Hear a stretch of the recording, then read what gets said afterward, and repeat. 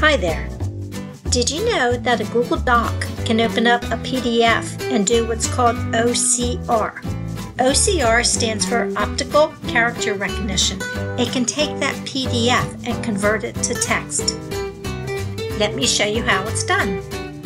I've already uploaded some PDFs to my Google Drive.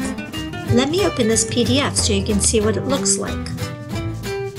At the top, Open With, I'm going to select Google Docs. So now what Google Docs has just done, it's done the OCR. It has made this PDF editable.